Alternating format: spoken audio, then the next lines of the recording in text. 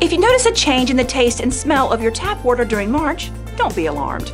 The city will be performing its water treatment disinfection changeover process, which is required by both the federal government and the state. The process will begin on March 1st and usually takes about six weeks to complete. It involves temporarily stopping the use of ammonia in the water treatment process to ensure the entire water distribution system is well maintained. The process also involves system-wide fire hydrant flushing to help distribute chlorine throughout the system.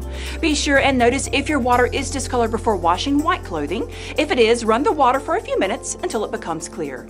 If discoloration continues, call 919-560-4344. For more information about the process, visit durhamnc.gov slash 944.